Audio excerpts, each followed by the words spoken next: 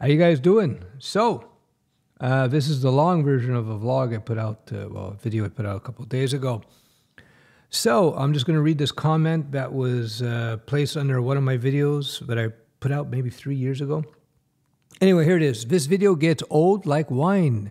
I was using Node.js during three years as a junior developer. One day I decided to try PHP just to see how it worked. Since then, I prefer PHP for development. So much stable, so much more stable and solid as a rock. I don't need to keep changing. You don't need to keep changing your backend every year or fix manu- manually dirty npm packages. That was and has been my main message, and this individual figured it out for themselves. That's been my main message about Node for years now. It's all the packages, that brittle backdrop of the packages and the way it works. Uh, you can see your app break unbeknownst to you for no apparent reason because somebody decides they're going to update a package somewhere this is a nightmare. One of the most important things about software is, is that it is stable. A principle that's fundamental to object oriented programming is that the objects that you build, the components of your software, be independent of influence from other objects around it. So, for example, inheritance, which is actually a fundamental structure of OOP, is something you should only use very rarely because when you use inheritance, you're introducing a um, a framework that is brittle, that is uh, open to breaking things. That's why I always say design by interface. Uh, what do I mean by open to breaking things? If you create a, base object and you inherit from that object uh, basic functionality methods in that object, for example, and if you change the base object because of you know things happen, multiple coders, uh, then you can have a cascade of breaking code. Node.js is kind of like that with its packages, where you can start leveraging all these packages everywhere. And the way it's structured, things could break pretty easy. It's very brittle. Brittle code is really bad. And one of the reasons that object oriented programming was invented was to invent brittle code. So, of course, us inventive developers reinvented different ways of becoming brittle, even with OO based infrastructures. So, anyways, there you go. A Node has its uses, but its big Achilles heel, it, the big problem that it has, as I mentioned in my short, is that it is brittle because of the way they manage the uh, packages. And so apps that uh, you've created can break because somebody changed something somewhere, one of your dependencies. Not good.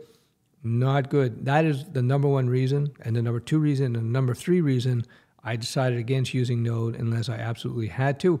And where would you have to use Node is in uh, high concurrency applications. This is exceptionally rare. Most of us are not building the next Netflix or Facebook or something. So I wouldn't be too concerned about that. My number one choice is uh, for small app development, web apps, is PHP because it's small, it's lightweight, it runs fairly efficiently. It's solid as a rock. You won't have things breaking on you six months later for no given reason. Uh, they're very conservative in PHP world with regards to breaking old code. If you've heard bad things about PHP, it's because you live in 1998 or 1996 perhaps, and you still think that PHP from that time is the PHP of today, it'd be like looking at iPhone 1 and thinking, and thinking that, oh, look at how bad this iPhone 1 is compared to the brand new Samsung phone. Well, yeah, you can't compare 15, uh, 20-year-old languages to what's going on today. PHP since 5.6, I would argue, is very stable. Uh, it went full OO. PHP 7 became super solid, and PHP 8 is enterprise ready. It's got some capabilities.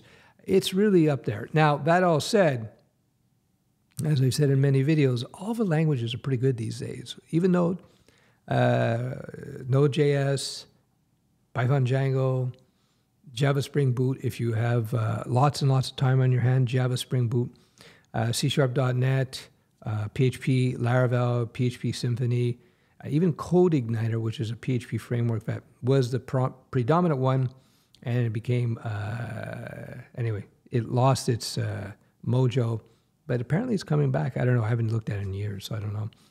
And Node, but again, use Node properly, again, that package management thing is a huge thing that makes me not want to get near it. And I stand in good company. The guy who created Node, he skedaddled out of the Node world as well. I think he created something called Deno. I haven't looked at that as well. But anyway, most of these products they come with their pros and cons. Well, they all do come with their pros and cons. Some and some will be good in certain situations. Some will be good in other situations. I leave it up to you to choose. For me, I like solid, dependable, easy, simple. That's why I go with PHP. Anyway, that's it. That Node's dirty secret. The packages. Evil brittleness. Not good. All right, I'm Uncle Stef. I teach people how to code. I mentor people. I have a boot camp. I call it the mentoring program because it's different from any other boot camp. It teaches you all the fundamentals you need to get your foot in the door as a professional developer. My thing about becoming a pro developer is that you got to get that you got to get into the workforce as quickly as possible. You need to get that first job. The way we do it in the mentoring program, once people cover the fundamentals, we have them go out there, do two to three projects, uh, little free freelance projects, so you can get their hands dirty with real code. It could be simple things. Put up a simple e commerce shop, install WordPress, get that set up, uh, set up somebody's Shopify system, uh, so on and so forth. So it doesn't really matter because a big part about being a developer is being able to assess out requirements, communicate with uh, the stakeholders, uh, execute on projects on time.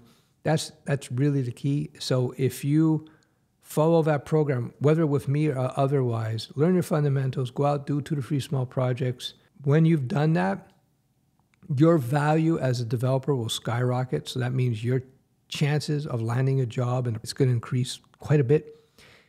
Experience is everything. So you create your own experience. If you're asking, oh, I wonder if, if Uncle Stef's mentoring program, do I give you those contracts? No, I don't. Because part of being a professional is being able to go out there and find contracts. But we help you there. We support you there. We mentor you. Just like a coach doesn't play the game for the athlete. The coach directs the athlete in the right direction to save him a lot of time and not make stupid mistakes. Anyway, that's it. Thanks for watching. I'm Uncle Stef. Bye bye.